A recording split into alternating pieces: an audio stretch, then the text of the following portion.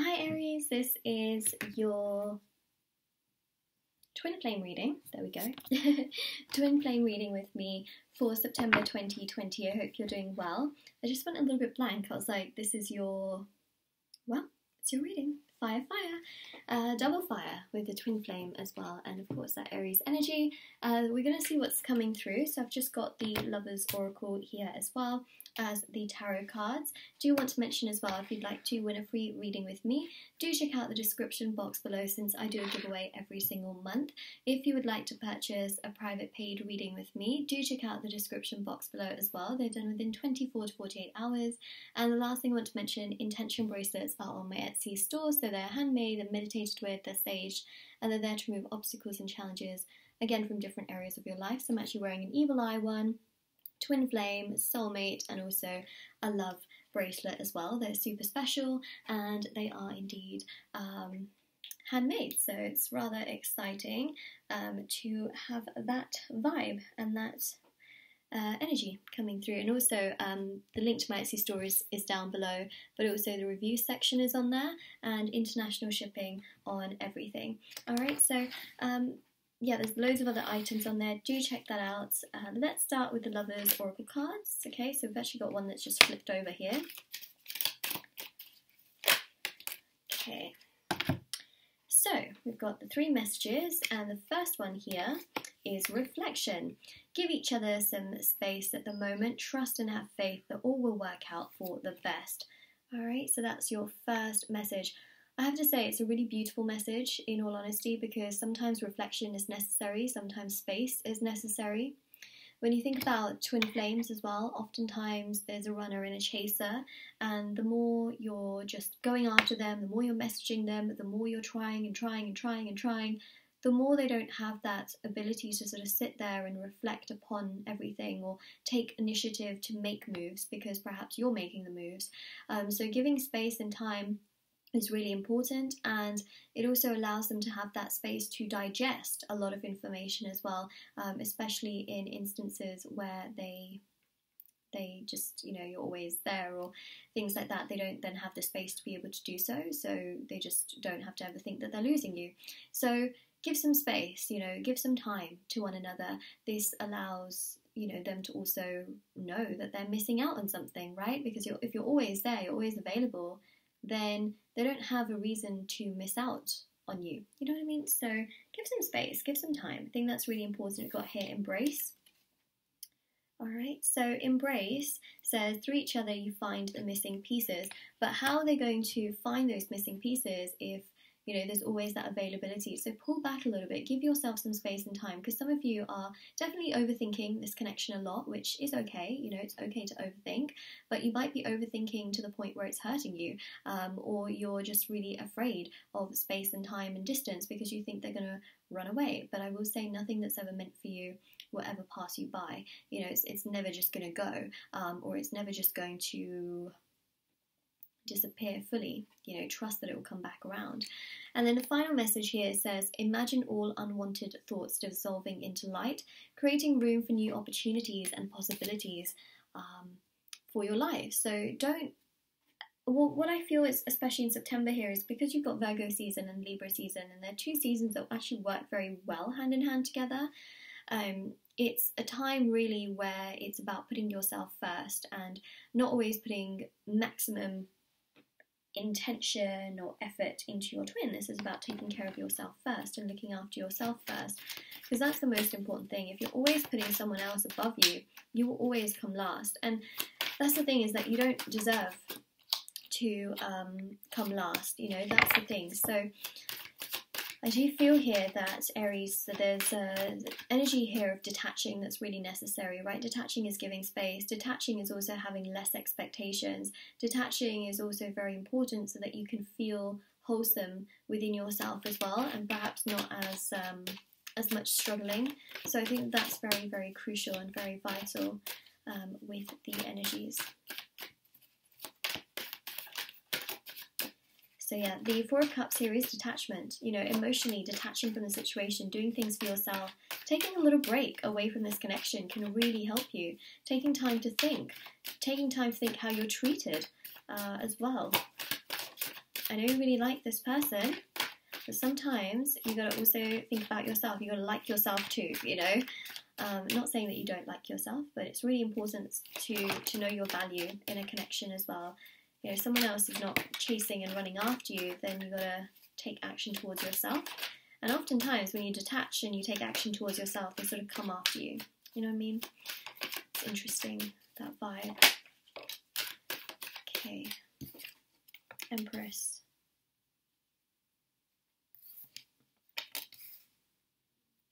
Empress, Chariot, and the Sun. You got quite a lot of like yellowy energies. It's fun, it's positive, it's bright. Um, the Empress here is about self love, it's about putting yourself first, it's about looking after yourself, um, sitting on the throne, you know, feeling confident, embracing the feminine energy. Even if you're a masculine or you're a male energy or you identify more with that energy, um, remember everyone has different levels of feminine and masculine you know, try and boost up that sort of feminine energy by looking after yourself, taking care of yourself as well. Um, and the chariot here is also a strong energy of emotionally connecting with yourself, but also trying to detach more from the sort of twin flame vibe and attaching more to yourself.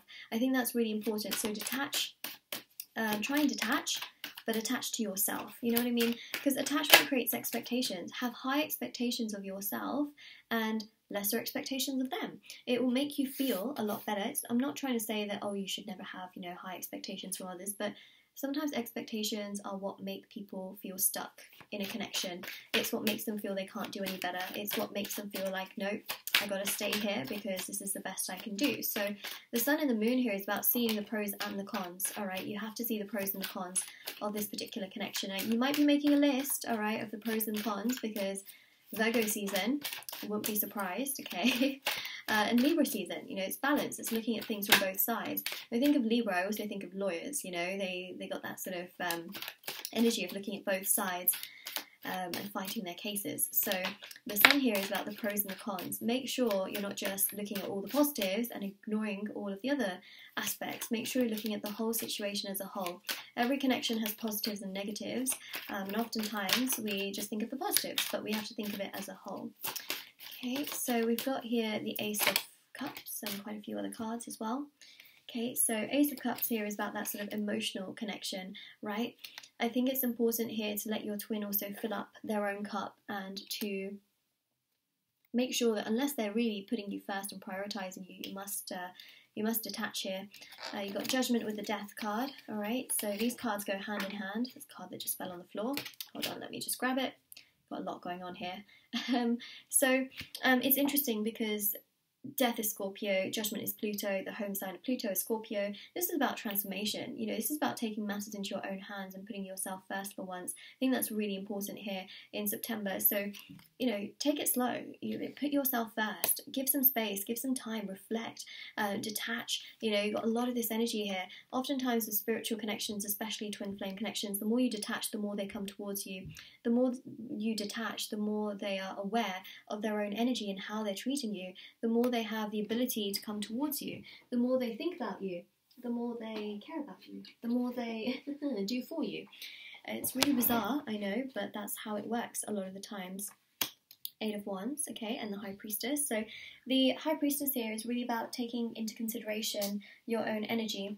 Um, only very recently, September 1st and 2nd, was there a full moon in the sign of Pisces, all right? So that was very, very recent, and I do feel, um, especially because it was the start of September, that particular full moon here is about you know looking after yourself your emotions putting yourself first. This is also about you know new paths and challenges and you know putting yourself first. So this is what allows your twin to come to you is putting yourself first and detaching is what allows them to energetically feel that oh oh wow you know I don't feel that energy as much.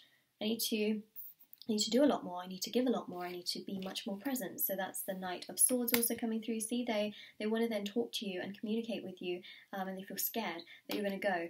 But look after yourself emotionally, okay? Because I do feel here, even though you're in Aries, okay, and they often say like, oh, Aries, you know, detached, detached. They are very detached.